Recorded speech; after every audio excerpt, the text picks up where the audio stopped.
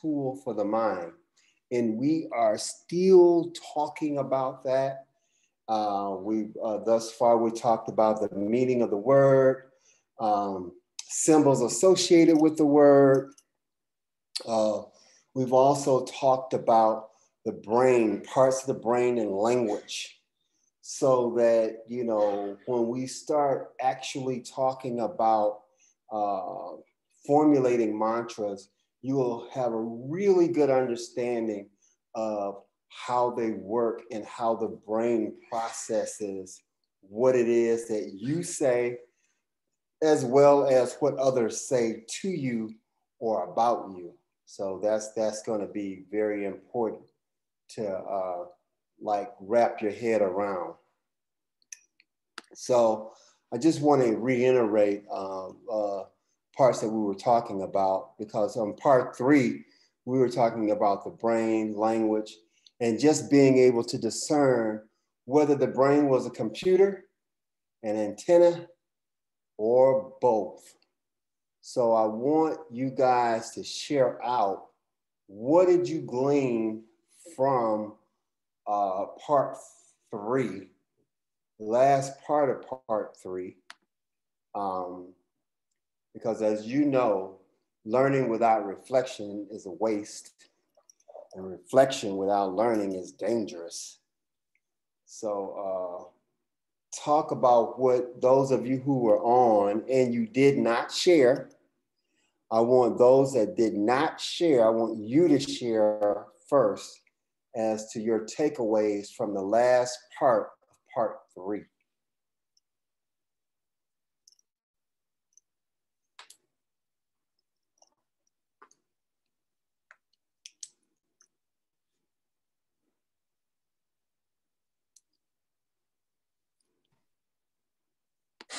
Peace instructor. Um, what I got from that last piece is um that you know a lot of our actions are happening due to unconscious collection of data. So um, the subconscious collects data in literal means. So that means um like like before that video, before you told us about that, I will watch something and be like, okay, I'll just do without this knowledge. Or like even though I'm watching this and I know that this information is kind of hogwash, um, I know that it's not real. So like I'm good. But after you told us that the subconscious picks up everything literal, now I'm much more careful about what I'm watching, what I'm listening to, who I'm around to. Um, even more so after that, because that affects our behavior. So that's what I got from it. Right. Wow. That's a very that's a very powerful, very good takeaway. Because as you, as you stated, the subconscious mind takes everything literally it, it even though your conscious mind says, oh, this is some hogwash, this is not real, blah, blah, blah, blah, blah, your subconscious mind doesn't process it that way. So, yes, you are correct to be vigilant in your thoughts and what you're watching and also who you're around. Good, good takeaway, Emerson. Appreciate it. Another takeaway. Yes, sir. Give me another takeaway.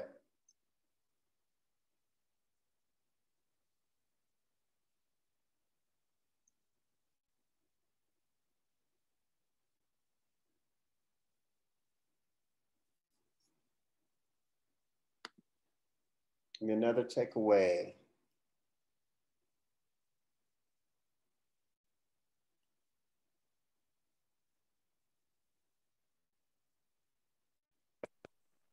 Please, instructor.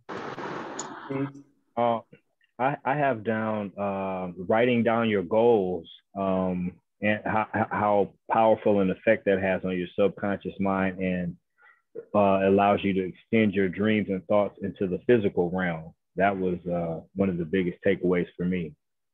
Yes, very good, very good, very good. Uh, writing is uh, uh, in the reticular activating system. Um, as uh, Hero said, it's like a drafting. uh, you are actually drafting those thoughts into this three-dimensional construct. So when you begin to write, you are drafting or building the blueprint as to what you want to create in this construct. Very good point, very important takeaway. So writing is very powerful. Good, give me another takeaway. I have a takeaway um, about the um, subconscious mind. Uh-huh. Never, never sleeping. Always awake. It's always like on record. Yes. Just taking in everything in your surroundings, even when you're sleeping. The subconscious mind does not sleep. Absolutely. and it can, you can take on traits that the subconscious mind has gotten from things that you picked up without mm-hmm. even knowing. Absolutely. Very, very good point. Very important point.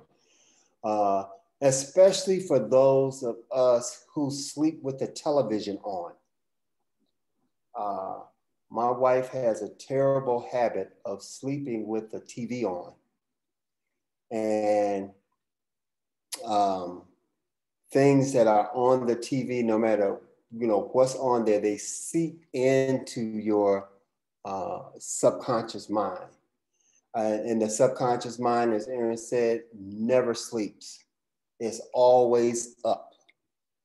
Uh, so that's very important, very important point. Thank you for sharing that. Give me another takeaway.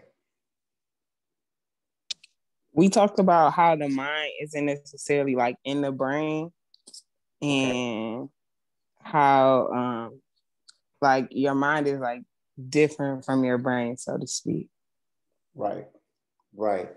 Now let me let me push a little bit on that, Aaron. Now, so uh, someone offered uh, asked that question as we were breaking down parts of the brain, and I asked the question, and I wasn't the only one to ask that question where is the mind in the breakdown? And it led this particular person to discern what the brain was. Do you remember that, Aisha?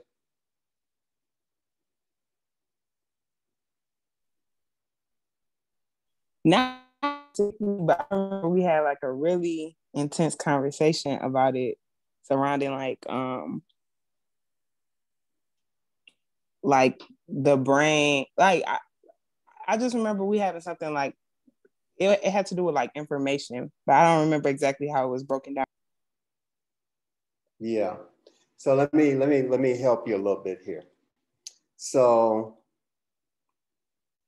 in sharing um, we, we didn't go into all of the parts of the brain just four parts of the brain that dealt with language right in all of the parts of the brain, we weren't able to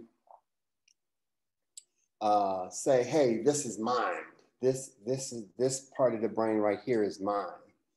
So it's a, a uh, uh, gentleman that wrote an article about uh, Flynn, F L I M, and in that he arrived at the same conclusion that we did when we were looking at parts of the brain.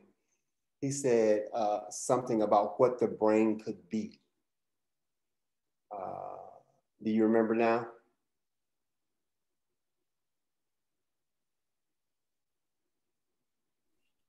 No, because I'm not looking dead at my notes right now.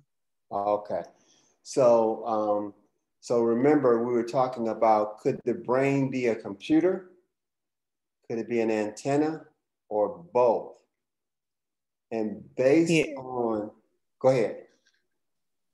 Oh yeah, it it can act as both. Right, but this gentleman's uh, offered that it was an antenna because he couldn't locate the mind in the brain. And someone else offered that the brain was a quantum computer because of how it functions. So these are some very important points as to, um, you know, it, leads to a couple of things. First, it lends itself to how the brain operates and processes language and information, right? That's the first thing. And secondly, it uh, gives rise or gives scientists an indication of how to uh, uh, create or recreate brain.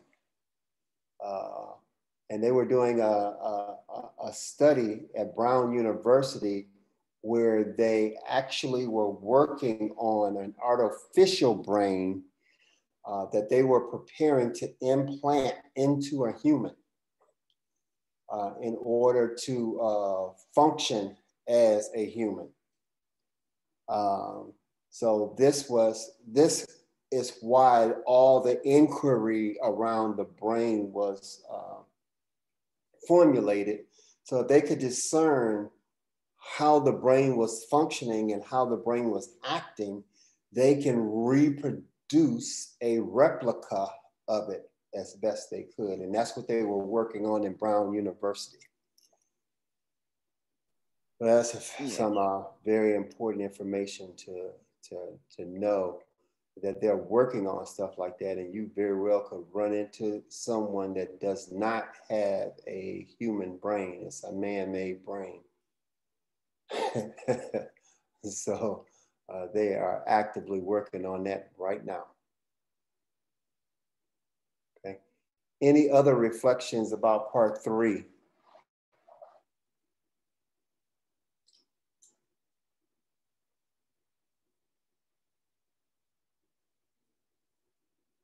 Give me someone that has not shared yet.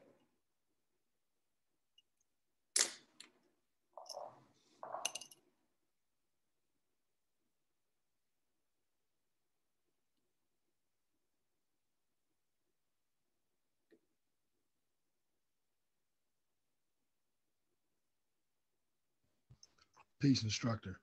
Peace, peace, peace what what stood out to me most was really something that wasn't really discussed, but it's something that I'm observing you do. Um, you, you you modeling um, through the beginning of the of each lecture with with you asking for good news. Essentially, we are collectively um, restructuring the brain. We are creating a mantra of sorts, and just the way we are deciding to look at um, the events of the day, the phenomena that are happening, mm-hmm. deciding what lens we are going to view them through, mm-hmm. uh, essentially becomes um, the framework for uh, a mantra of sorts. And so that was the what I overall. I mean, you've obviously been providing um, some some some powerful uh, insights and, and information for us, some empowering information. But what what has stood out to me thus far is the power we hold in the decisions, um, how we choose to view the phenomena moment by moment that are mm-hmm. that, that's that's unfolding. So I, I I really have kind of that's kind of been the thing that I've keyed in on and it's been sticking with me the most out of everything is that this is the, the brain is, is an organ that we tell it what to do essentially. The mind will tell the brain how to how to perceive things and we begin to train ourselves in a way um, we can we can begin to see everything as good news or or as an opportunity. Um, we can see everything uh, as you know, we were working at Leopard. And so the opportunity, the mantra, every movement, every motion, every opportunity or every moment is pregnant with opportunity and possibility. And so mm-hmm. it's really a matter of training the mind to see that um, on the floor didn't translate necessarily at first. And then in that last week of Leopard, it finally started clicking like, oh, this is an opportunity to do something. Right. So um, I want to be able to better explain that or or or um, present that for for those who may not have been on the floor with us or even have have seen animal systems in, at play Um, so I'll work on that. But for those that are, have been involved, hopefully what I'm saying is making sense. So that that was, that's been my takeaway. Good, that is good. Um, uh, yeah, uh, and you're right in picking up on um, how class has started and how, how I've started classes with good news because um, if you create a lens of good to look through, that's what you'll see. uh, because uh, some of us have had some, you know, like, man, this was a challenging day, right? However, something good happened uh, today. and you, you want to highlight and end and focus on the good that happened uh, today. So that's why, you know, as a practice, I'll say, hey, let's somebody share some good news. Something good happened to somebody today. And uh, just in hearing the good news of others makes you reflect on the good that happened with you. So that's a very good observation, sir. Thank you. Thank you, instructor. Thank you. Thank you. Okay, good, good. So sounds like we got some really good uh, takeaways. Um, uh, the, the last point here is I can change or rewire my brain. Um, uh, was another point that was taken out uh, or, or highlighted in part three uh, in uh, the uh, scientists from neuroplasticities actually state that you can actually rewire, reprogram, and change your brain. Um, uh, that can actually be done. There is a way to do it. And that's where, that's the direction that we're going into. However, uh, there are some things that you need to understand as to uh, as a part of the subconscious what's in there. Oftentimes we don't know, or when you talk about the subconscious mind, or when we refer to the subconscious mind, we don't realize that, uh, as Emerson stated uh, at the top, 90 to 95% of your behavior comes from your subconscious mind. Uh, in giving presentations like this uh, in the past, oftentimes people don't realize that uh, that fact. They discern or think that their behavior comes from what they are consciously thinking about and or are aware of and the opposite is true. um, your behavior actually comes from a place that you really don't know a lot about what's in there. So, uh, a lot of the behaviors that you are acting on uh, are coming from places that you may or may not know. Uh, so I want to dive into that in this part here um, and talk a little bit about that. So um, reality, what shapes your reality and how is your reality shaped? Um, millions of signals bombarding your brain. Are your thoughts really yours. Just think about that.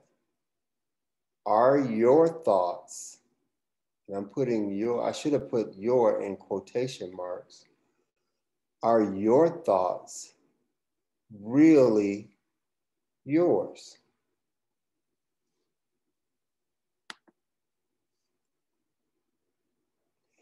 And here in this part of the uh, presentation, I'm making the case why involution or uh, evolutionary change is a necessary responsibility. uh, um, uh, and that's what this part of the presentation is about. Making the case of uh, why evolutionary change is a necessary responsibility. Does anyone know or remember what involution means?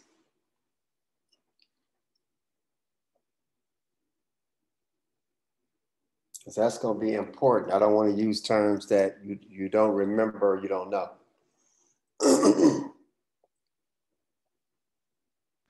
I believe the definition that we were working from was the mathematical definition, which was a function, a transformation, or operator that is equal to its inverse. Okay. Anybody else? Paul offered a mathematical definition there.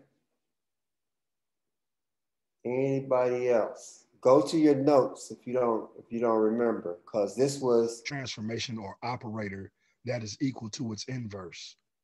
Okay.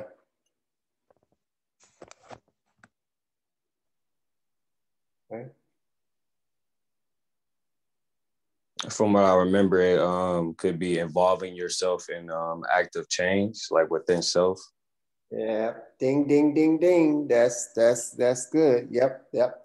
That's that's Yep. So there was two definitions. Paul offered the highly technical definition, and Emerson offered the other, saying that you it's it's important that you be involved in the change. that you yourself be involved in the change. Involution is when you take part of the change. Uh, so here in this part of the presentation, uh, I'm going to uh, make the case as to why you should be a part of the change.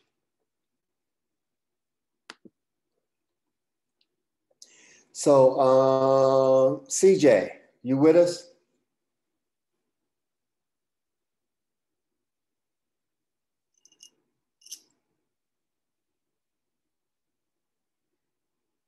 CJ?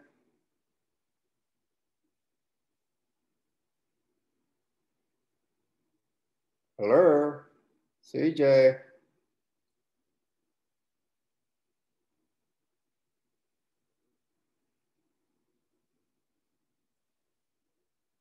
Okay, I'll get him.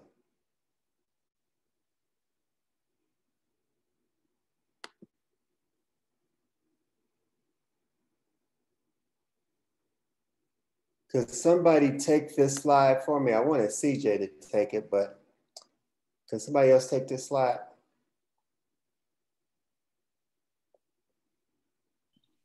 Psychology, major influences in the study of the mind in Western philosophy. There are others that the ideas to enhance and control the minds of the populace are taken. Okay, could you read those names up top for me, Kenyatta? Uh, Jean Piaget, Carl Jung, Sigmund Freud, uh, Boris Skinner, William James, John Watson, and Ivan Pavlov.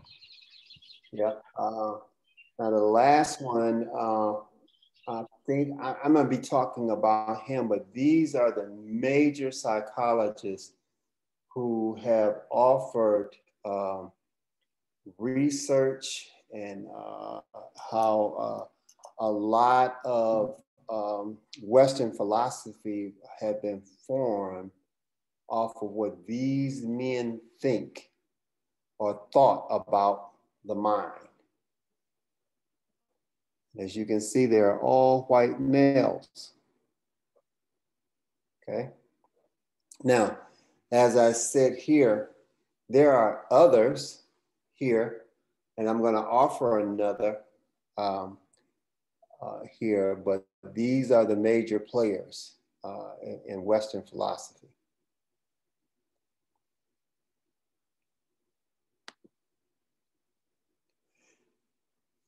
Kenyatta, could you take could you take this one as well? Yes, sir.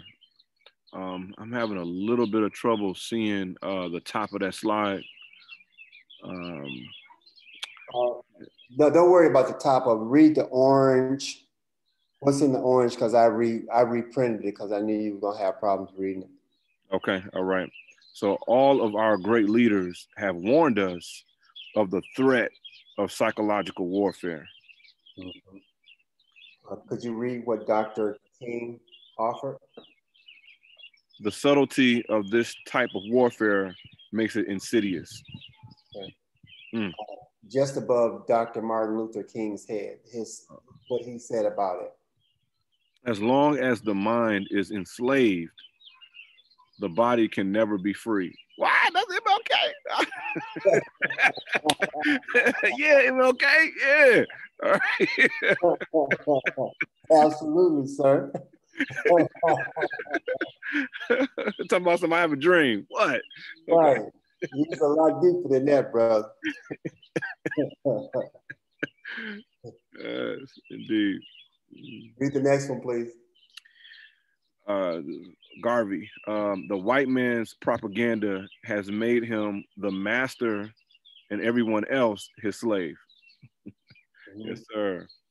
And uh, Malcolm X, uh, the white media will have you hating your own and loving them. Malcolm X.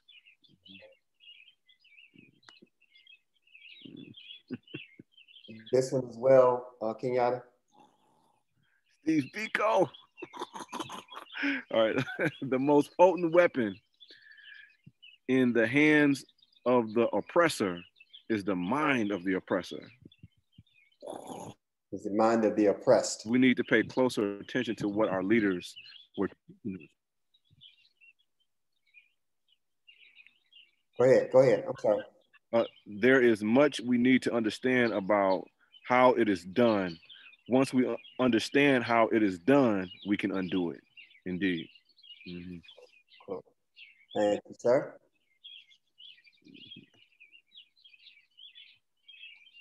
Now, this particular slide um, is a, a, so, a, a sociologist.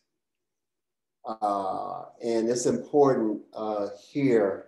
Uh, I, I put him at the top of this discussion because he had a major influence on uh, the looking glass self. Could someone uh, read this particular slide, please?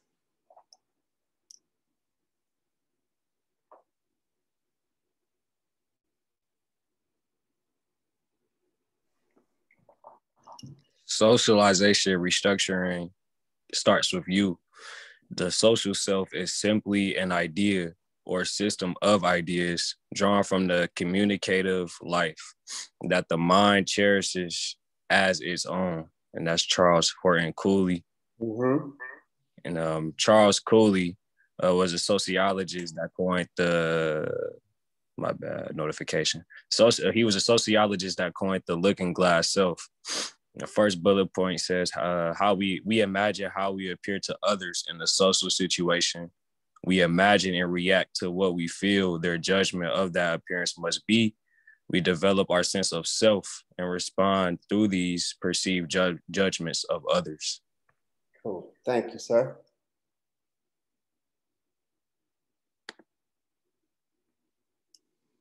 Someone else get that side for me, please. I got it. okay, for sure. Uh, Self knowledge in philosophy, self knowledge commonly refers to knowledge of one's particular mental states, including one's beliefs and desires. Self knowledge is a term used to describe the information that an individual draws upon when finding an answer to the question, What am I like? Cool. now, it's very important to, I thought, thought this definition was very important to coin because if you ask someone else what self knowledge is, they wouldn't necessarily give you these definitions. So, uh, especially uh, the, the, the second one. Aaron, could you read that second definition again? Yep, I got you. Yep. Self knowledge is a term used to describe the information that an individual draws upon when finding an answer to the question, What am I like? Yeah. And, be, and going back to Cooley, uh, and where he turns the looking glass self, and what he offers is we imagine and react to what we feel the judgment of that appearance must be. We develop our sense of self and respond through these perceived judgments of others. And that's why I follow this one up by, you know, the term self-knowledge and what that means to sociologists and psychologists, uh, uh, which is very important because when we say you know self-knowledge oftentimes we're talking about self-knowledge from a historical uh, perspective. We're talking about knowledge of where we come from continent africa or where, whatever continent you may be from uh, europe or australia you know it, you know uh, so um, that's where you know most people when you ask them about self-knowledge they'll go down this uh, this uh, this ancestral tree. But that's not what they mean by self-knowledge. So it's very important to make the distinction here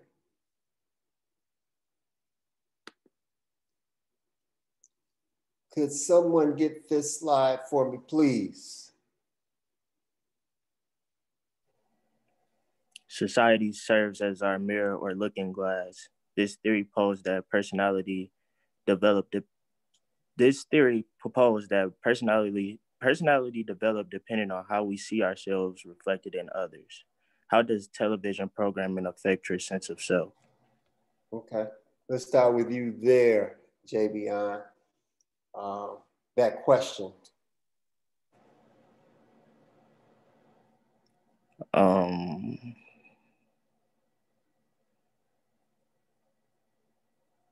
just what you think. How does television programming affect your sense your sense of self? How you think? Uh, identifying with uh, your favorite shows or movies, you can you can basically create uh, your own personality from what you watch often. Um, maybe your favorite character, you might end up having similar traits or characteristics that you take on from mm-hmm. watching certain things on a consistent basis. Okay, good, good. Anybody else? yeah, I got something to say too. Okay, so especially uh for us as um black people in America, the use of black exploited movies, like you always seeing, um, so like a, a, black person as a drug dealer um, and gangs and stuff like that, that can affect you psychologically because like they paint it in a way that it looks like glorified for real. So then kids might take that and see, oh yeah, I want to be, I want to be the the neighborhood dope. I'm sorry, the neighborhood dope man, and all of that stuff. Mm-hmm. Okay, good, good. Anybody else? Yeah, I would. Uh, I would uh, say that it would also work in inverse of when you watch something like reality TV and you see um, everybody has a big house, um, a new foreign car, and plastic surgery, body perfect. That somehow you are not enough, or you're not good enough or you're not pretty enough, you don't have enough money or whatever by looking at certain things on TV as well. Absolutely. It automatically sets up that comparison. Good, good. Give me give me some more on this. Um, I was gonna say uh, like trauma in trauma Im- imagery, mm-hmm. like especially around like Black History Month or like um when something happens like with like for instance last summer like george floyd and breonna taylor mm-hmm. like it was like trauma and then it sends people back only to like 1950 1920s and it's like that's all the history you get so but if that's all that you're seeing like that's like all you really kind of can think you can come from which is like it's true but it's also more to the story and i mean everybody doesn't internalize like those visuals the same and so um i think that like a lot of what you see is especially in like african american tv is like trauma or like it's always got to be like that. And so that's that, that gets ingrained in your head a lot of the time. Oh, okay, very good. Now let me ask you a question, Aisha. Uh, what does trauma do to the brain? Um, I guess it, it it does a lot. It causes it causes you to be like defensive about things you shouldn't be defensive about. It causes you to stress. It causes you to like it like breaks you down mentally sometimes. So it causes distress and um, it, it makes you act in different ways. It changes your behavior patterns. Mm-hmm. Absolutely. Absolutely. Instructor, can I chime in? Yes, you certainly can.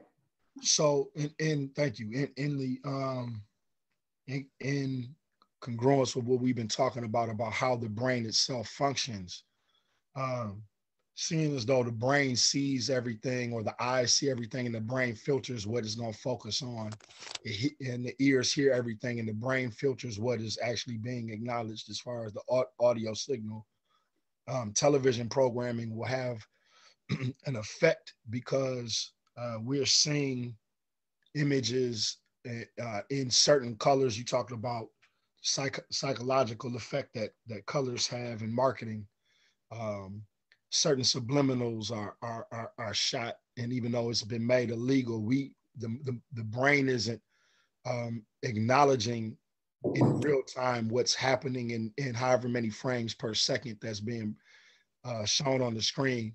So that's just on the subliminal level, let alone what's happening on an overt, purposeful, we want you to get this message level. And all input is going to uh, cause those wrinkles and those uh, synapses to form and fire.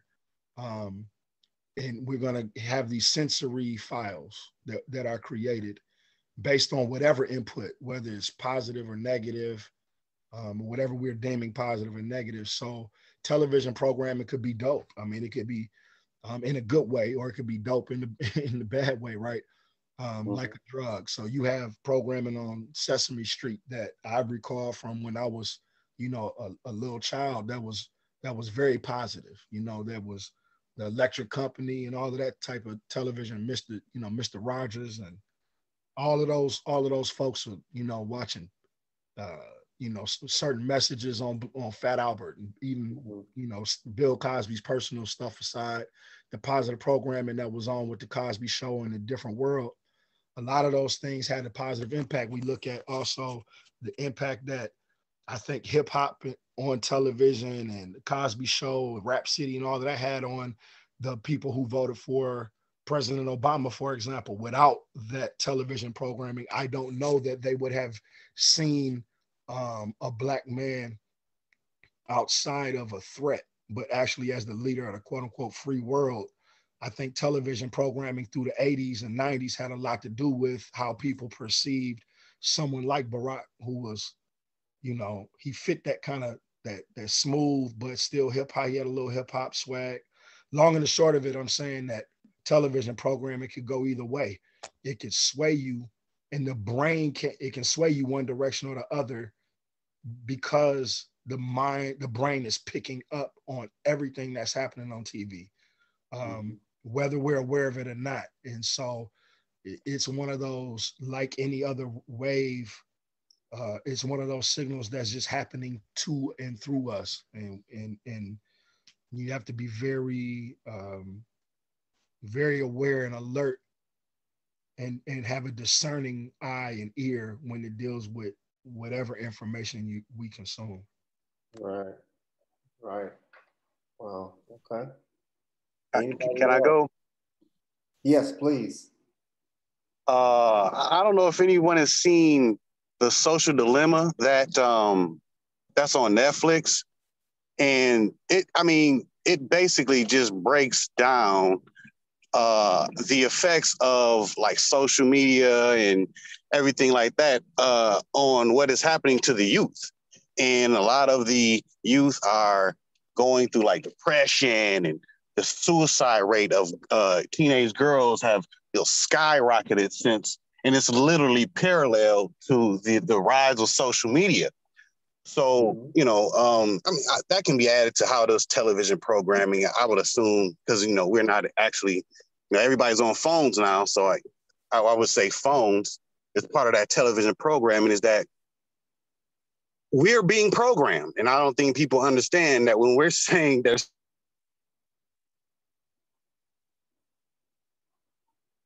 um, yeah, I don't think people understand that we're the ones being programmed in the situation. So like uh, we have to be vigilant in like as what what Paul was just saying is and it, and it goes into like last week as well uh watching our diet and what we consume because we have to be conscious in understanding like what we started off at the beginning of uh, the class in understanding the subconsciousness guides us. And so with that understanding we can be vigilant in our uh, viewing of you know what we watching. We can be conscious of it and be like okay this is enough i can cut it off and so we got that power to make that discernment to say okay this is not a, this is not good for me or this is just too much but without that understanding without that knowledge of the effects of the programming you're going to be susceptible to just be programmed mm-hmm. and uh, we have the ability all of us have that choice to be programmed or to not be programmed. So if a person doesn't, in my opinion, if a person doesn't understand the fact that a television program does program them, it's it'll, it'll be harder for that person to actually grow in consciousness eh, eh, eh, as opposed to you know knowing what is at stake. So once we know what is at stake, we can move vigilant. Right. Absolutely. Absolutely. And that's why that's part of the reason for this particular question, for this conversation. And at the top, making the case for involutionary change is exactly um, what was offered at the top of this, and how uh, television programming, uh, that question, how does it affect uh, your sense of self? our collective sense of self and how we're portrayed on television eh, is definitely a part of the programming. Um, so there's a lot in this question um, here. So let me offer the, the next part here. So there's a lot in that question, correct? So we talked about the conscious mind.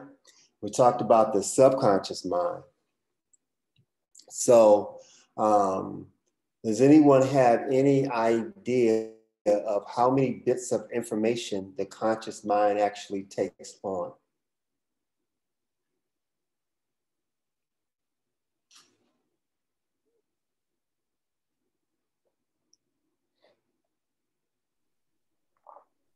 I don't remember the exact number instructive. I know it was millions of bits of information. Okay. Didn't he say 40 million? 40 million bits? You say 40 million. The conscious mind takes on 40 million? I thought you said, no, no, no, I'm sorry. No, no, you said 400, 400 bits. And the subconscious takes in 40, I believe you said 40 million. I believe that's, that was the last bill we had. Maybe uh-huh. I'm probably off. so you, you remember our last conversation, right? Yes, sir. okay, I, I got you. I got you. So uh, here, um, the conscious mind takes on 40 bits of information per second, right? 40 My bits apology. of information per second. No, there's no need to apologize because this information is not like out there and known. you know what I'm saying? Uh, however, the uh, subconscious mind takes on 40 million bits of information per second. So and the 40 million bits of information per second, you're not aware of all of it. Hmm. You are only aware of 40 bits of it. Hmm. However, 40 million bits your subconscious has taken in. Right? That's that's huge. Uh, again, at the top, making the case for you to be involved in the process of the change. Right? So can somebody take this slide for me and fill in those uh, those uh, colored question marks?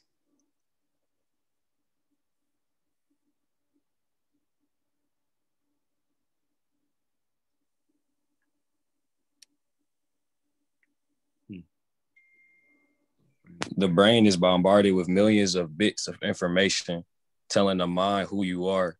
The conscious mind 40 bits of information per second. The subconscious mind 40 million bits of information per second. Yeah thank you.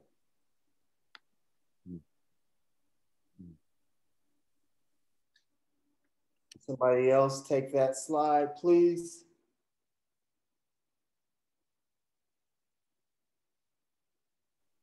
Say, come on, ladies, let's get some feminine energy in here. Yes. What does the programming tell you about yourself and who you are? Okay. Get that one. The programming has given shape to who you think you are, where you think you are,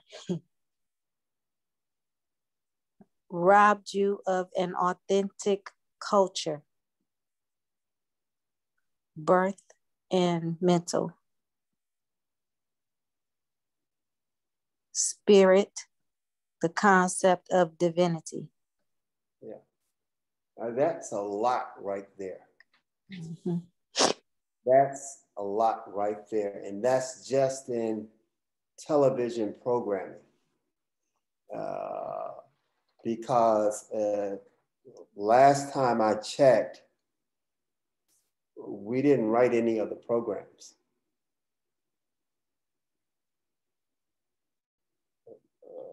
Very few of us have anything to do with the writing of the program or determining what programs actually come over the airwaves.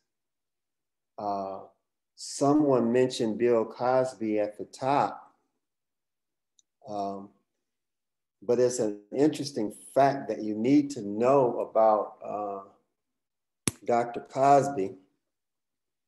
Uh, Dr. Cosby had entered into a partnership uh, about buying some uh, a station, a, a, a network.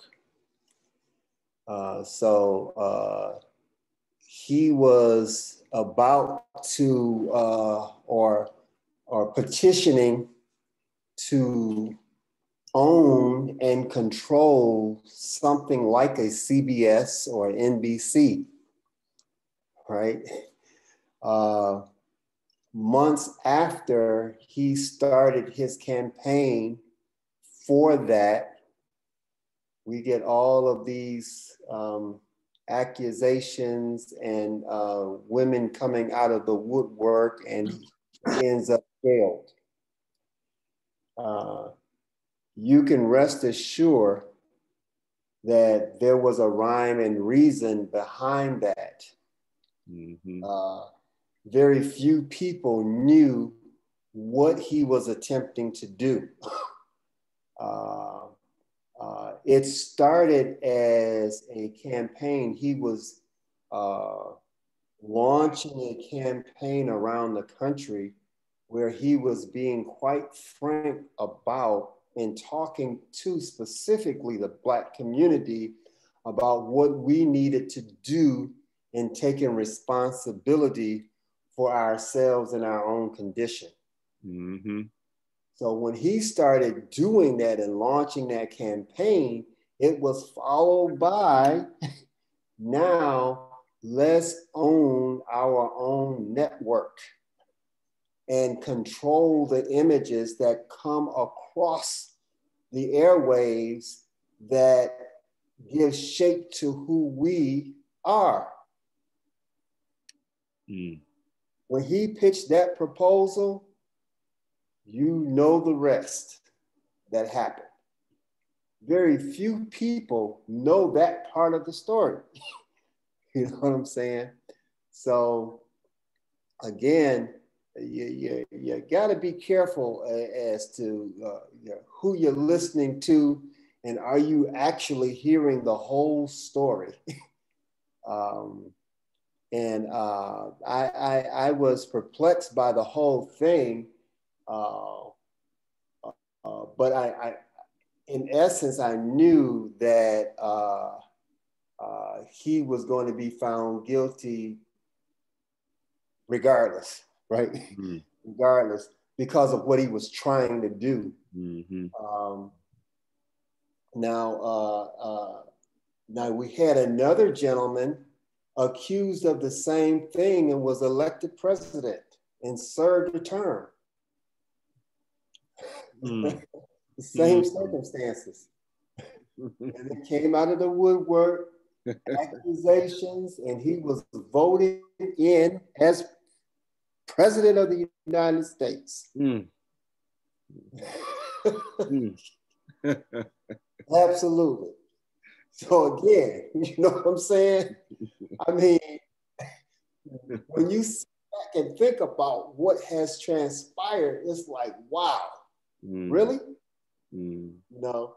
So again, really, especially think about, especially when they tell you about uh, people who are on campaigns like that. They are always under assault especially when um, the charge is that or when they're taking on something like that. So I know someone mentioned uh, Dr. Cosby at the, uh, I think it was Paul.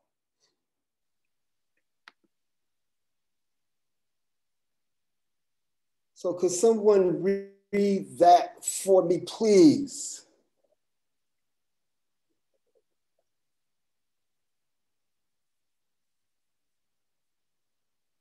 For we wrestle not against flesh and blood, but against the principalities, against powers, against the rulers of darkness of this world, against spiritual wickedness, wickedness in high places.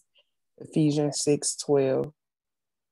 Now, I I refer to uh, biblical verses here, or this verse here, and I think I've referred to them uh, in other parts of this presentation because it is so intricately tied to Western philosophy. Uh, it's a part of the framework that's woven into um, uh, what we are actually consuming. Now, I also have a picture of uh, at the top of this. Does anyone recognize this picture? This is a program that had been on. I don't, I don't know if it's still running or not. I think it's canceled now. I don't think it's, it's no longer running. Does anyone know about this particular program? Is it the show called Lucifer? Yeah. Bingo.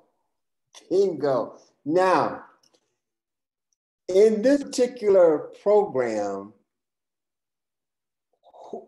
how how is Lucifer framed? He's framed as uh, the good guy. He's framed as a good guy. What have we been taught about Lucifer? He's bad. this particular program, right? He's a good guy. yeah, that messed me up too because uh, I was talking to a friend about this show, and he was talking to me about it, and he had I told him like, nah, I don't really want to like get into that show. It's like the show is literally called Lucifer, and he was like, nah, but you got to watch it. He's actually like the good guy. You just got to understand like most of the things that that are painted as him as the bad guy, they portray it as him in light. So I was like, yeah, I still don't know about it. I don't know I really want to see that. wow. And, and, and see, that's why I thought that this particular uh, passage was fitting because of how we are being programmed to think about this. you know what I'm saying? How we're being programmed to think about this. And this program ran for a long time, right? Uh, I think it's just now got canceled, or I don't know how long it's been canceled or going off, but it had a pretty good run. And just like Aaron, your friend was like, no, you really got to look at it and wrap your head around it because you know what I'm saying? Lucifer was a good guy. He loved us. yeah. Okay.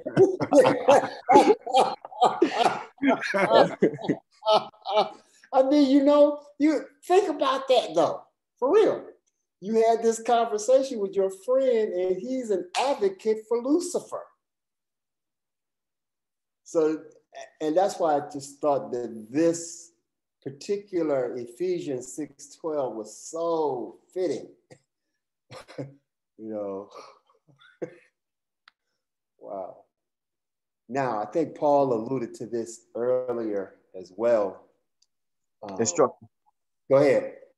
Um, in while we're talking about Lucifer, did you hear about the, the this little rapper that came out with a, a Satan shoe.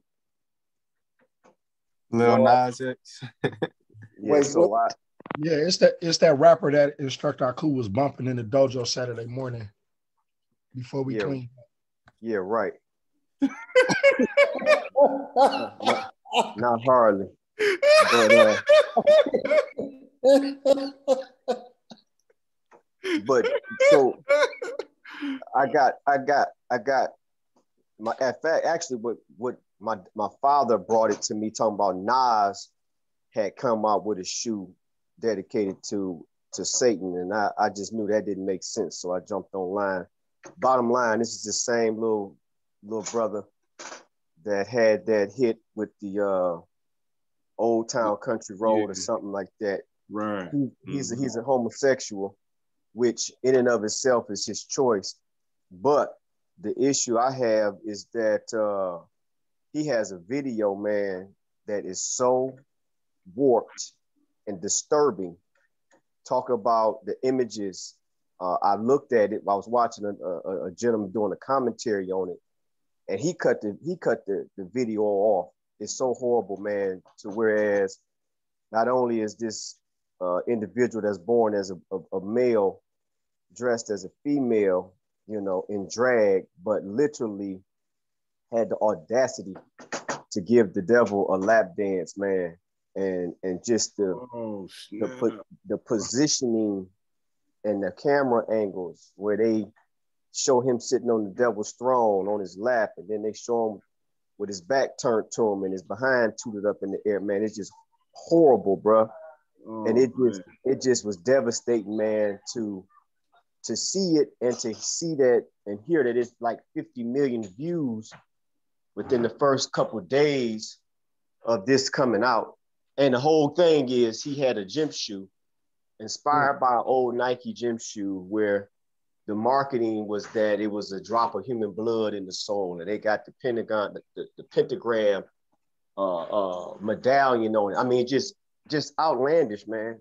And mm-hmm just the the the the the, the, the blatant uh, promotion of such things. You know, even in the, for from the for the LGBTQ community, I would be outraged if I was of that community because it's giving a horrible representation of people's choice. So I just I just I, I don't even advise that y'all go look at it because I literally had images in my mind that I did not like, and it just it was disturbing. And to be conscious and aware and on purpose I just can't even imagine what kind of influence it's having on these young people that don't even have a clue. Absolutely. Absolutely. And it goes back to this particular verse for we wrestle not against flesh and blood, but against the principalities, against powers, against the rulers of darkness of this world, against spiritual wickedness in high places. You, you make the point. Wow, I, I was unaware of that. Mm. Good share. Instructor.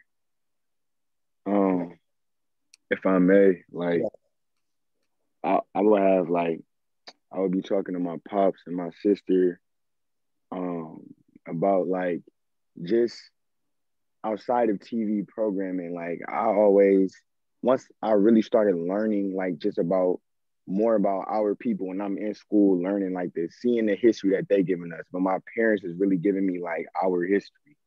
So I'm learning and I'm looking as a kid, like y'all giving me garbage. Like I can't really trust the information that y'all giving me. But the older that I've gotten, I've started really thinking like clearly with the you know TV programming and so on and so forth, but like everything in which we choose to look up, even like not Google, none of this stuff is ours, bro. Like we we are basing a lot of our information based off of things in which they provide for us. And you know, it's like you breaking free while still eating out of the big house. Like it don't make sense.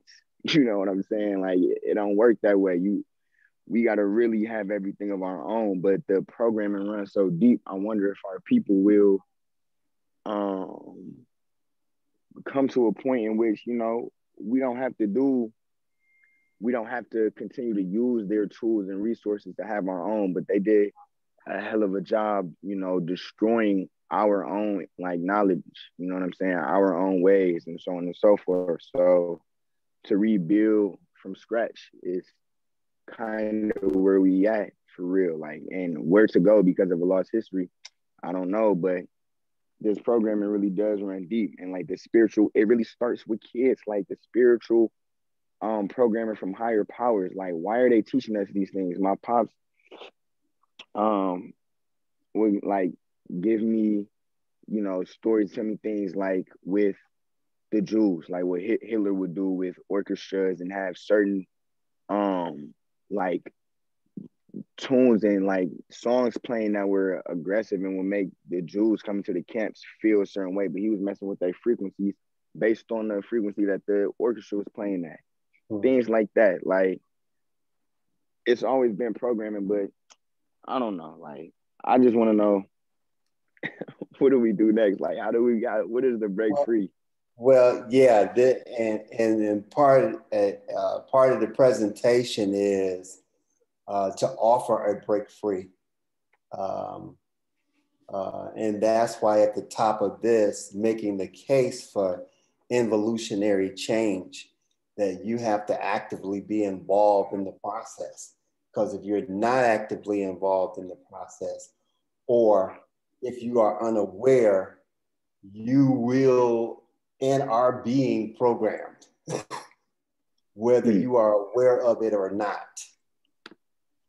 Mm. And, uh, and then, so the next case here is made for uh, about um, the music. Uh, instructor Aku uh, shared uh, about uh, the music video and promoting a shoe, a Satan shoe. I, I, I was unaware of that. Um, however, the the um, the uh, uh, music industry is very very powerful industry as well. Um, and what makes the music industry uh, so powerful and music powerful is because, and I think Aisha, if I can, if I remember you saying this, and you correct me if I'm wrong, uh, you mentioned this earlier uh, in the presentation where music goes past the filter. You can listen to a music song, and it'll, depending on what's being played, it actually goes right past the filters that are designed to block um, uh, certain information out. I believe you shared that, Aisha. Was it you?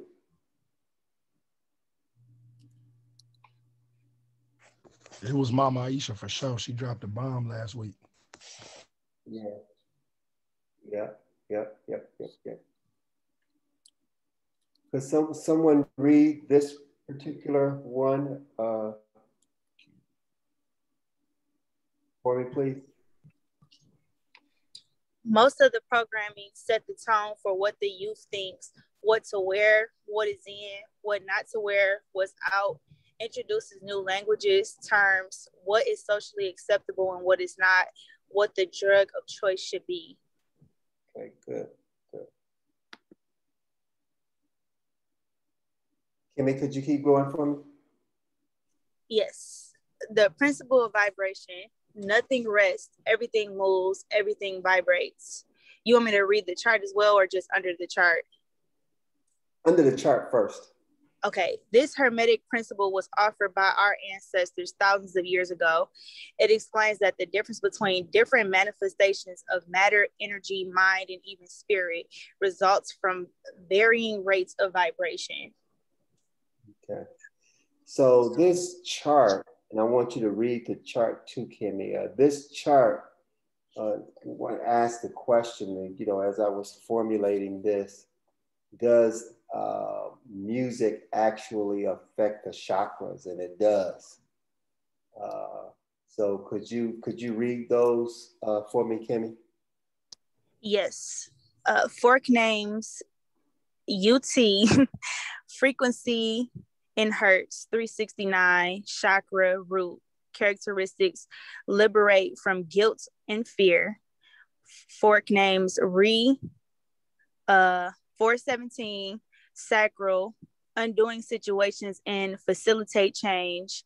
Mi, 528 navel, transformations and miracles, DNA repair. Five, 692, I mean 639, sorry, heart connecting relationships, Sol, 741, throat expression, lie, 852, brow, awakening intuition, and then nothing, uh, 963, crown, connect with light and spirit. Right.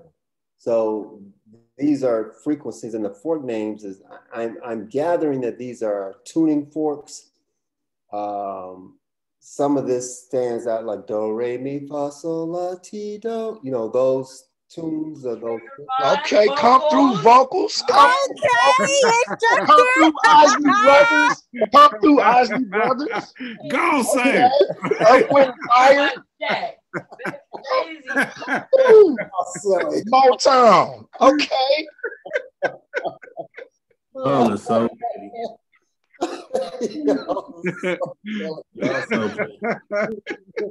but, but they do, these frequencies do impact or have an effect on the chakras. Uh, and as offered here, our ancestors offered that thousands of years ago um, and uh, uh, sharing with us how. Um, Can I um chime in if that's okay before we move on? Go ahead, go ahead. Um, so um I'm also in school right now and I'm taking a lingu uh a literature class and our class is on music, but we write papers. So um my first paper that I wrote recently was a argumentative paper about music and how it affects the brain and the brain waves um, based on instructor wow. Keith's lesson. Wow. And so I was doing um, my own research to back up my argument. And um, basically, I tied it into how music actually heals the body better than medicine. And one thing I found was how much, um, I don't want to slaughter this word, but binaural I think binaural beats. Yeah. Mm. Yes. So um that came from well, that's like the source of healing as well as connecting to the vibrations in the chakras, which is why a lot of meditative music use those specific beats in order to change the frequencies of the brain waves at the same time, which mm-hmm. is also used in um, music therapy that they use like outside of hospital settings, but is used to heal not only like anxiety and depression, but also like literally health issues that can be healed through music by changing the frequencies of the brain. So um, I tapped into a lot of that when I wrote my paper, and it was just very interesting because I'm like, wow, you know, we've been learning about brain waves, and then we, you know, we use meditation music, but do we really know what we're actually listening to?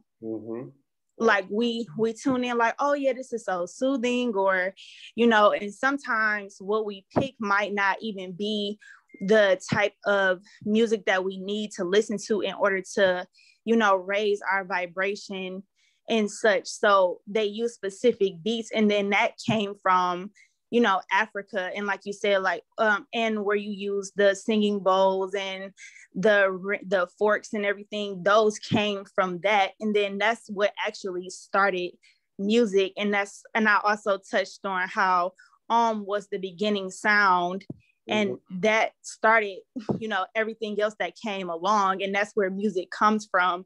And it's just crazy how much it has transitioned over time to where it can be such a negative thing when really it's supposed to be used for such a positive and healing um it comes from a positive and healing place. So um that was interesting to me.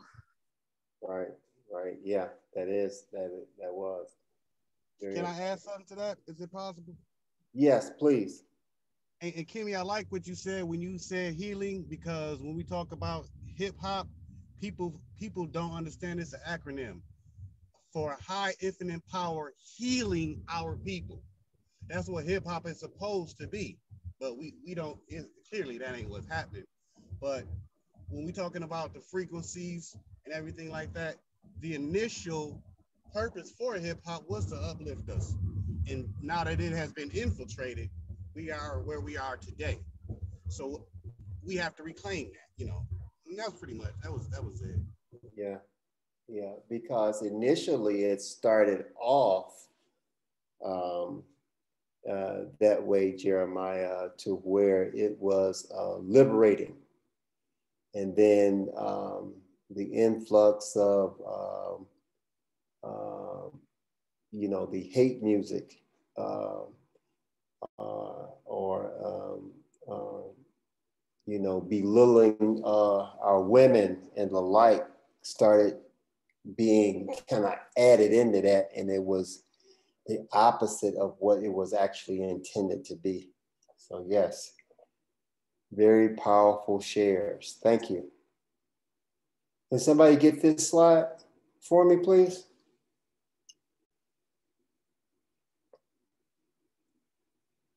Can this affect my chakras? Music and frequencies can have a tremendous impact on your chakra. This programming has been used in war and brainwashing conditioning programming. And a few examples at the bottom music has been used for thousands of years in war. The Battle of Jericho, Joshua and the trumpet in biblical times. Aztecs used the death whistle, and it sounded like the screams of dying men. Spartans marched to the sound of flutes, drums used by General George Washington General Andrew Jackson, and then Africans and Native Americans used war drums. Mm-hmm. And the same thing with this chart uh, offering um, the notes and the frequencies and the sounds, uh, the vowel sounds, especially in the wording as well, uh, offered here. So here, offering how uh, music uh, and how they use music uh, to as a method of interrogation without leaving marks. Uh, um, Emerson, could you read that for me, please? yeah, I got you. Uh, this is a way to interrogate without leaving marks. Central intelligence and major media circuits have played a huge role in the promotion of using music to brainwash prisoners of war and civilians. Wow. However, Pavlovian psychology is the father of these types of assaults on the human psyche. Now, if you can remember at the top, I was uh, offering uh, the major players uh, in uh, psychology. And uh, Pavlov was one of the major players uh, where um, he did this experiment with the dog and when he hit the bell, the dog starts salivating. Remember that? It's the basic psychology class that we all we we've all taken. Yes, you, sir. Yeah. So he is like the father of these. So when he did that experiment, they took that experiment and like ran with it and used the music. If they said that well, if you can use the tuning fork or you can use a sound to cause a dog to salivate, we can use sound to actually control um, human beings or, or, or, cause similar effects on the human psyche. Uh, so they took his research and been building on the research for years. And they don't really talk a lot about how they used the major uh, pieces of uh, uh, the framework to do what they're doing now. Uh, uh, so they, they've taken it from uh, a bell causing a dog to salivate to uh, uh, a sister gyrating. you know what I'm saying? So uh, they've taken it on a whole nother level, using music for us to turn on each other, actually, and go to war with each other. So uh, they've actually used it uh, uh, against us and uh, there's some other ways that they've they've actually used music uh, in uh, psychological uh, warfare. Could someone read this particular slide for me, please? Music will. Mute, babe. Sorry.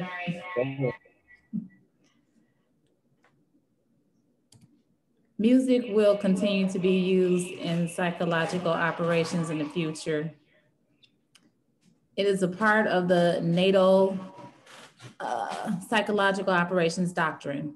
Loudspeaker message gains attention of target audience. Use jingles or local music. Target analysis should be done with care. Exploit types of music favored by target audience should be specific and easily identifiable. The age, the group, the ethnicity, class, etc. Yeah. So this particular picture is a helicopter with loudspeakers and music that, they, that this helicopter was flown over uh, targeted areas and these this music was being played, you know, as a part of the, uh, uh, the, the, psychological attack uh, formed, formulated in Vietnam. Uh, so music has been a very active part in uh, psychological warfare. it hasn't gone anywhere. It's still prevalent today. it's still being used uh, in this community uh, in other communities. It's used against uh, race and class. So it, it, it, has gone beyond just being used on blacks. it has been used on classes of people um, uh, as well. Um, so I just wanted to offer that there. Uh, now this is a, um, I adopted this um, for every school that I've worked with, I've changed their creed. This is one of the creeds that uh, I offer schools um, uh, and, and use for the school that I run. And I have uh, students say this every, every morning. Uh, uh, I, I don't know if you, you guys know, I'm kind of like a, um, well, I'm like a Joe Clark, right? And so I am assigned schools that are in trouble. Uh, that's that's how I started the work. So they would uh, uh, initially I was a part of a team that visited schools that had uh, serious cultural cultural problems, and uh, so we would hang out in the school for about a week, and then we would meet with the administration and uh, suggest to them things that they should do to turn the culture around. It was uh, the part of the uh, team that I worked with was called Schoolworks. Um, I was I had done that for some years. Uh, I would go to schools all over the country and uh, just hang out in schools. You know what I'm saying? And uh, meet with the principal, meet with the administrative team, and give some suggestions. And then um, after that work, then I became interested in uh, being a principal myself. So uh, then, uh, uh st- you know, started uh, working with troubled schools in this particular management company. And this was one of the um, uh, creeds that I introduced um, to um, to the team and had the students share every morning, um, which is a very awful. And I would use this to interact with them uh, when, uh, not before they got in trouble, but when they got in trouble, then I would take them through this particular um, uh, mantra, if you will. Why should you watch your thoughts? They become your words.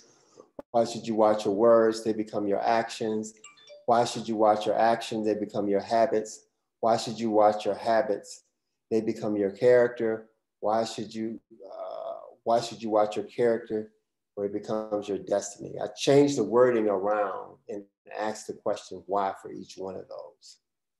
Uh, very powerful uh, change in everywhere where this has been used. Uh, but it has to be actively used and not just empty words that you say.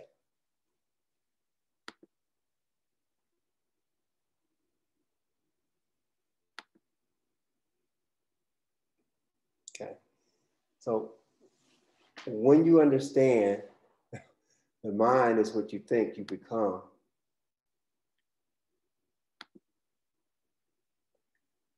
you become an active part of your own self development. You see, unlearning is a very important process towards becoming enlightened because in this life, you will have long, learned wrong ways, and those wrong ways that you have learned are barriers blocking you from becoming who you really are. Therefore, it is vital that they are unlearned. Your thoughts, you create your thoughts. Your thoughts create your imaginations, and your intentions create your reality. I think this is the last slide. What's my time look like, Keith? 25 minutes. Okay, cool, cool. So um, I believe that this is the last slide. So I want to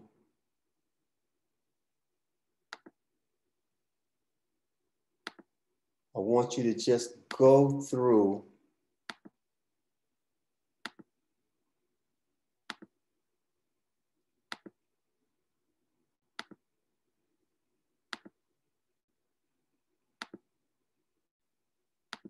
Yep, this is the last slide. So go through reading these slides and I want you to answer the questions in your notes.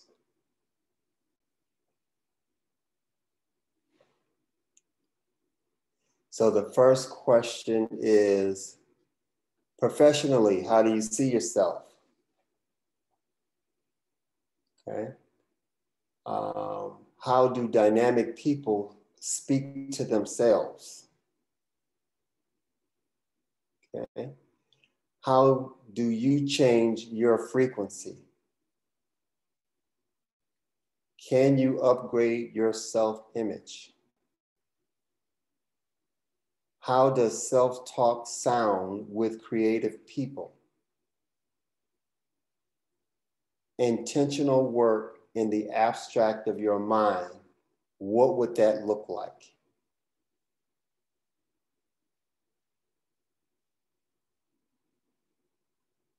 So this part of the presentation is homework. And just taking those questions answering them in your notes, and then sharing them when we start part five, which is the last part.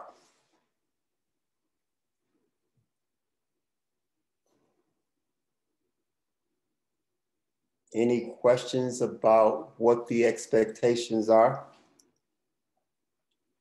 No, sir. No, sir. Okay.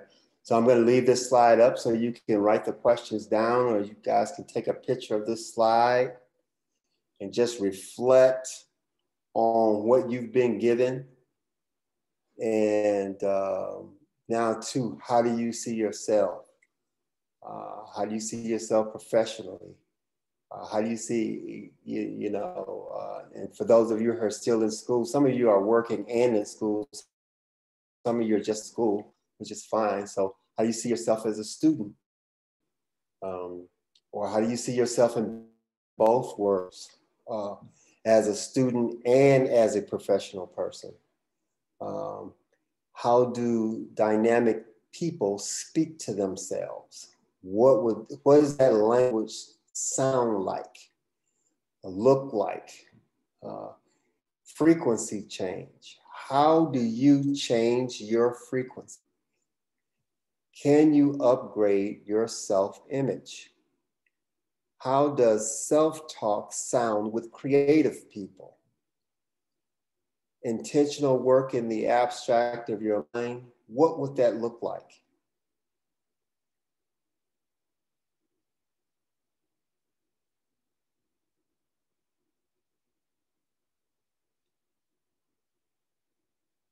What was the last question, instructor? Please repeat it. Okay. Intentional work in the abstract of your mind. What would that intentional work look like?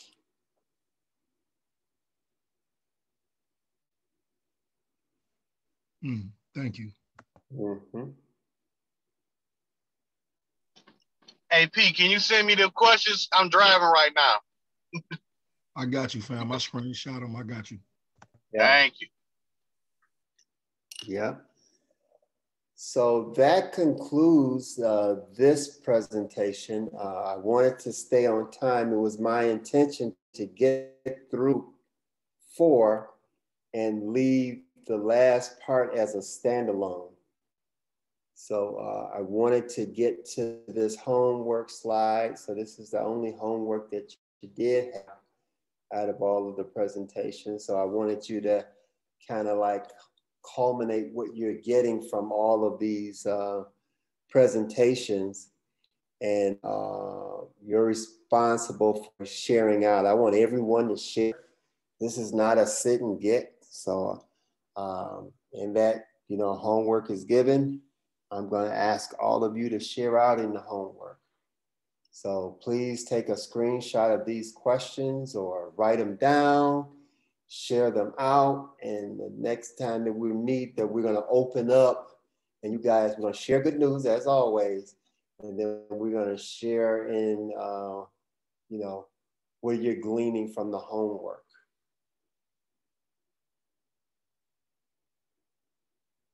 All right. Instructors, do you have anything to add or commentary or the like?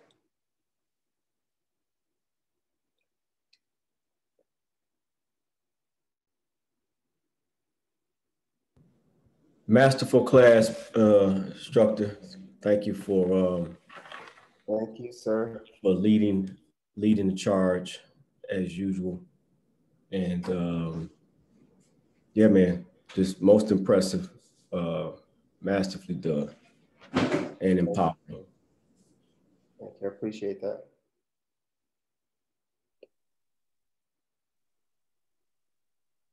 Yeah, I was gonna say, you know, just echo those same uh, sentiments. Um, definitely very, very powerful class, and um, really, I just look at these presentations as the tools to take, you know, our mind and ultimately our power back. Um, and I, I really like that question about, you know, do you control your own thoughts? And um, just, you know, kind of exploring that because a lot of people don't think about where their thoughts are constructed yes. or, or the, the content of the thought pretty much. And so, you know, once you go down that path, you kind of see like, you know, as you, you know, some of the uh, quotes you put up, but the those who obviously control the um, media that you receive, those that control the language, those that control um, the images that you see, you know, of self or others, now you get to see like, wow, the thoughts that I think are not even my own. Mm-hmm. And most of those thoughts have been intentionally supplanted by those who don't have my best interest in, in mind and heart.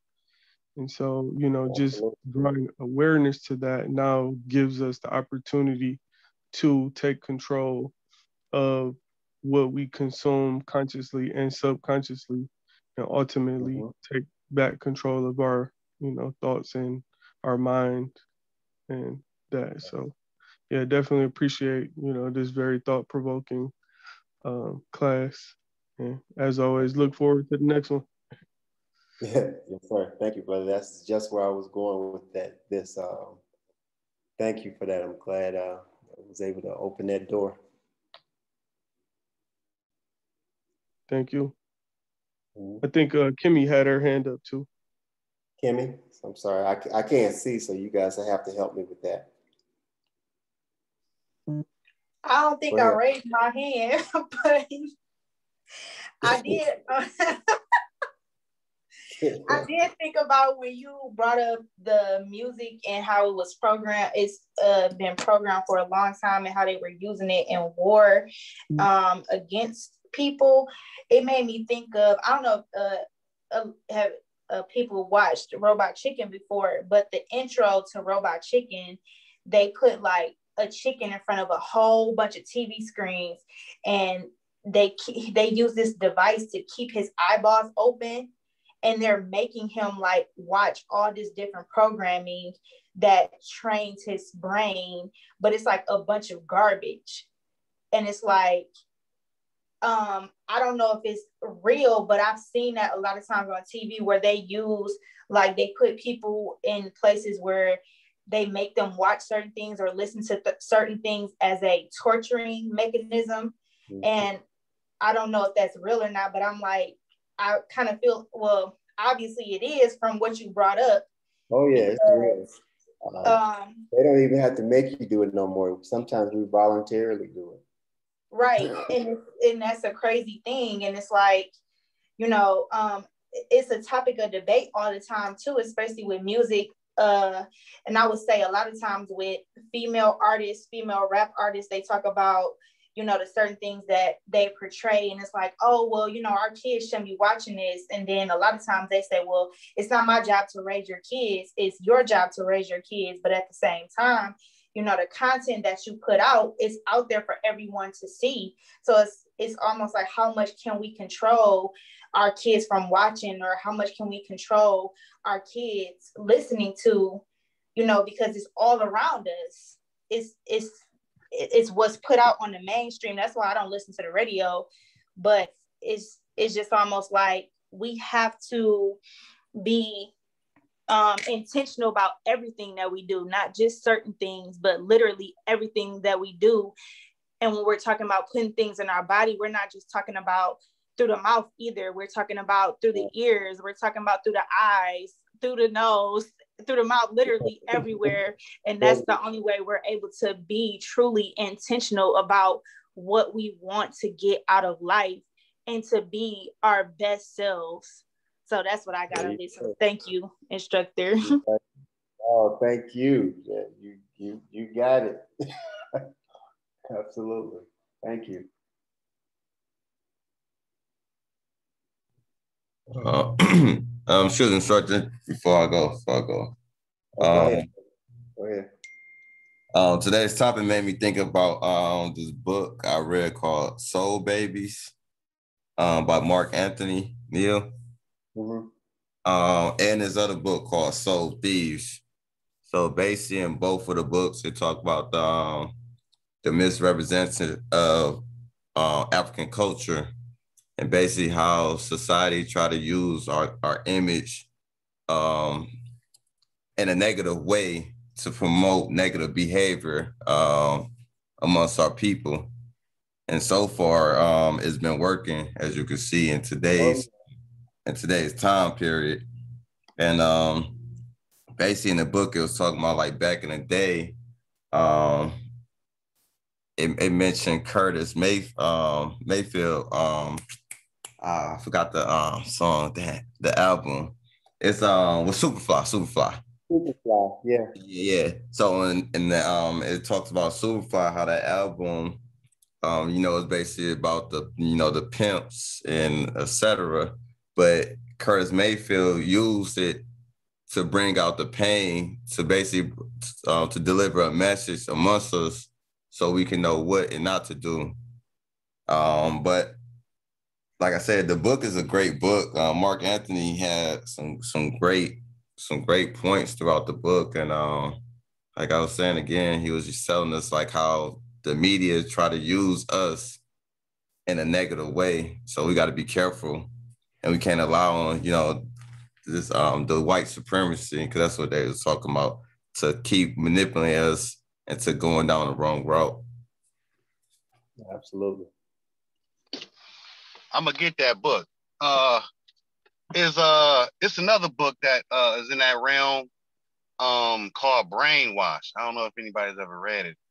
Um, Ter- Terrell, I believe the the author's last name is Terrell but it it, it, it goes through the uh, brain you do in the condition is to break condition people as well. So that's another good book to. Uh, I'm, I'm I'm I'm gonna post it up so you know people can probably check it out. And I'm definitely gonna check out that Soul Baby. That even sound good, Soul Baby. But uh, yeah, that's another book to check out. Yeah, absolutely. Thank you for sharing. Let me jump in real quick. Uh, instructor, uh, great class, man. Great class. Um, Thank you. Got me fired up, man. You got me fired up, man. yes, sir. yes, sir. You, know, got me, got, you got fired up. Got, got me fired up, man. You know, um, I I just appreciate. Uh, just I'm just looking at you know, just uh, the, the presentation on, on on several levels. One, I'm I'm, I'm looking at you uh, as uh, kind of like uh, like my elder, like my elder brother, you know, and um, always, always looking, you know, to uh, not only my my peers and um, you know, even inspired, you know, by by the younger brothers as well, you know. But but I'm always looking forward uh, because uh, I too will be in one capacity or another um, in the future, you know, where I'm, you know, working with uh, just members of our community and, right. and always looking, you know, I'm always looking to see how do how do we uh, stay stay inspired? Like, w- what do we do to stay inspired to keep uh, the mission and the vision alive? Like, w- what do we do?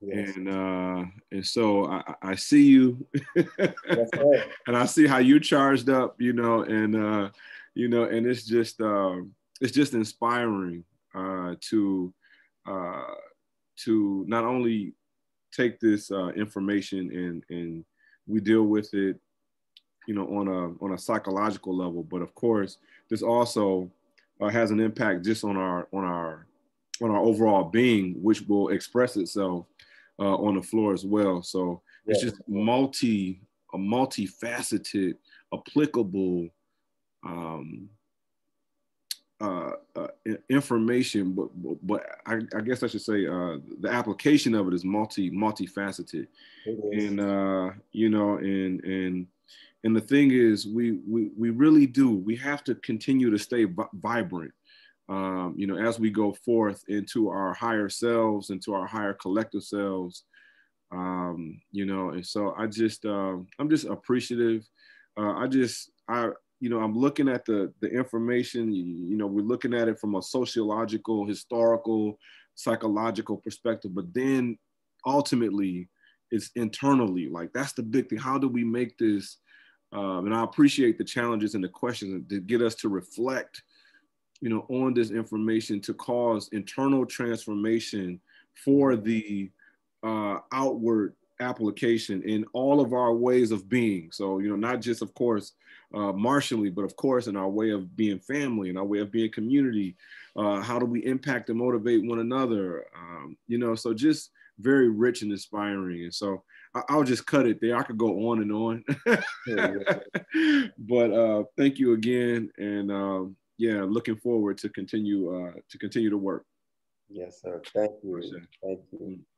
Uh, you you kind of like give rise to what you say. You know, what motivates uh, us to keep the charge going, and I would think about uh, Master Jawad and what he wanted our charge to collectively be he wanted us to be black belts of life. And uh, this is a part of the charge, not just being able to kick ass on the floor uh, when somebody put their hands on you, but you need to be able to kick ass in the boardroom or mm-hmm. any room that you find yourself representative of your people and yourself. Uh, uh, you, uh, I, I, see myself as part of that charge as an instructor to give you the proper tools to deal.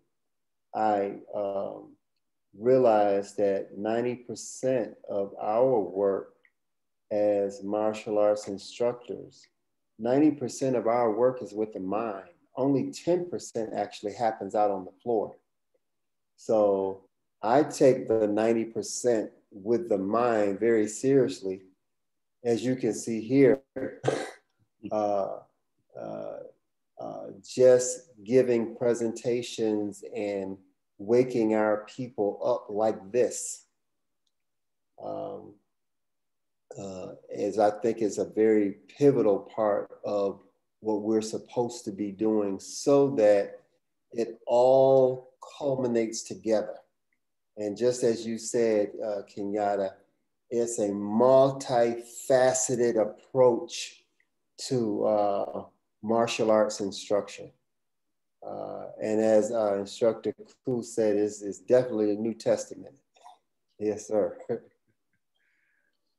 Indeed. Um, I, I, just wanted to say this last uh, few pieces real quick. Uh, I remember instructor said, sharing with me uh, you know, when he came into the discipline, uh, he he actually came through um, uh, GMK's African history class. Yes. And yeah. and, uh, and so, just sort of fast forwarding, uh, looking at what you all as instructors, uh, you know, you North, you know, instructor said, instructor Aku. I mean, you all are are taking. I mean, he started with the yeah. African history, and now you all are taking the discipline and and uh, and just really just uh, just going forward into our being and and just everything, man. And it's just really a beautiful thing.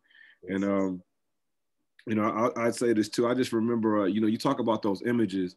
I remember in Anthony Browder's book. Um, I don't know if you all have heard of it. Probably most of you all have heard of Nile Valley uh, contributions to civilizations.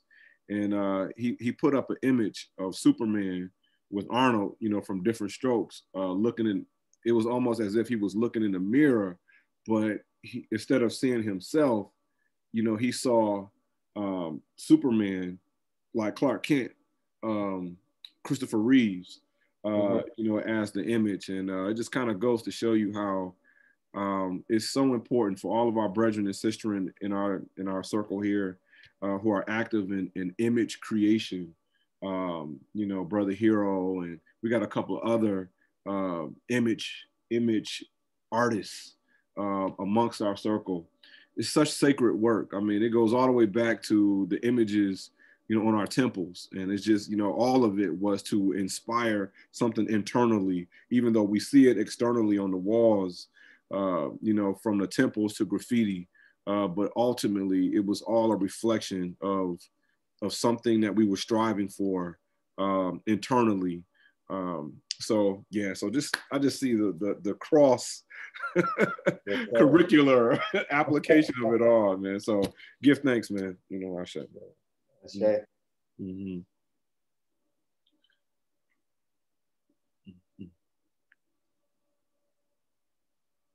Anybody else? Any other instructors? Ghost, Instructor said, Instructor Nate. Brother, I'll, I'll jump on. Um, brother, my mind went a million different places on this one. Um, yeah, a powerful presentation. The uh, the implications are vast. Um, where I want to go now, though, is I guess a reminder to not not restrict this information to race, to black and white. It goes even beyond that. Mm-hmm. that is absolutely there. Uh, but I think it's more of a misdirection uh, than the ultimate goal. Um, it, it is vast because because all races are are subjected to this same information through the same uh, uh, mind control. I'm gonna say this this sorcery I like to call it. Mm-hmm. Um, so a, a, reminder of that. And boy, uh, yeah, yeah, I, I, can go a million different places. I'm, I'm, not, but it's been said over and over on the call. But uh, again, really enjoyed the presentation, and I'm definitely looking forward to the next one. Yes, sir. Thank you, brother. Appreciate that.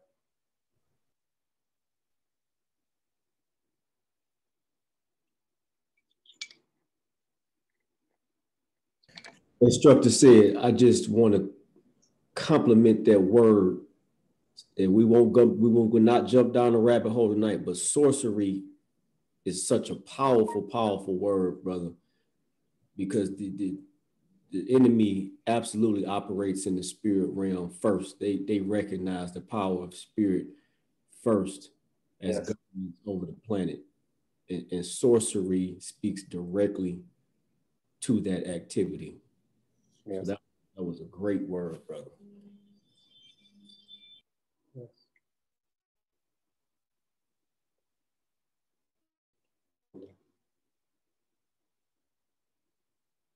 Well, uh, if there are no other thoughts, commentary, uh, that concludes this part of the presentation. I wanted to end it up with that homework. Um, And uh, the last presentation is going to be, uh, parts of the last presentation is going to be next week. We're going to start with good news as we always have. And uh, also going to uh, the expectations regarding the homework, uh, sharing out on um, the questions that were offered to you uh, as homework. So looking forward to seeing some of you. I'll see some of you tomorrow. Uh, those that I don't see tomorrow, I'll see Saturday. And I will be looking forward to uh, talking to you and seeing you soon. Peace and love, family. Peace, y'all. Peace. Thank you, instructor. All right. Peace, Peace family. Peace. Peace. Peace, Love you guys. Peace. Peace and love. Peace, peace, family. Most